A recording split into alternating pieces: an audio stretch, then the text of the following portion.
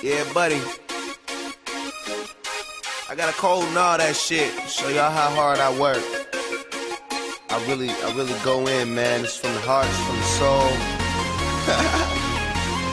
Still having fun too, though, man. It's gonna be a real big year. You watch. I'm telling you.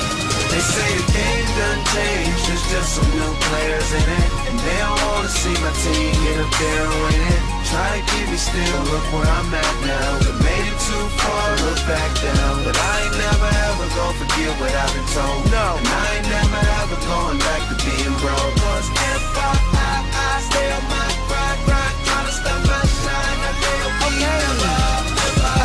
Off just a fan, writing like every other kid. Grew up to be the man, paying bills at my mother's crib. Every day I'm hustling to get us out the situation. Gotta deal with phony shows, goofy hoes, and niggas hating. Mostly all embrace a small percentage of my city races. Instead of doing good, they'd rather see me catching cases. The fans love me, but I struggle trying to impress the label. And all this got me feeling like it's way too much put on the table. On the table.